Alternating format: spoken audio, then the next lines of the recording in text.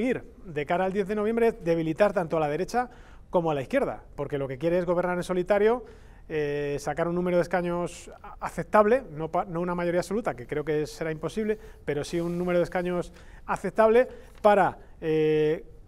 gracias a un socio debilitado, que podría ser Ciudadanos,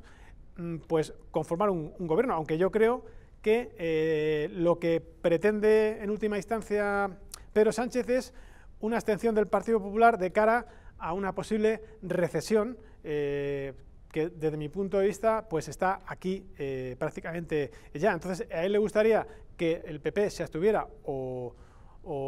conformar una, una, gran coalición o simplemente una abstención del PP o que, le, o que le apoyara al PP para pues abordar esa recesión con mayores garantías, aunque eh, tal y como hemos comprobado hoy, las, las medidas que pretende, más, más electorales que, que prácticas, porque es casi imposible que las lleve a la práctica,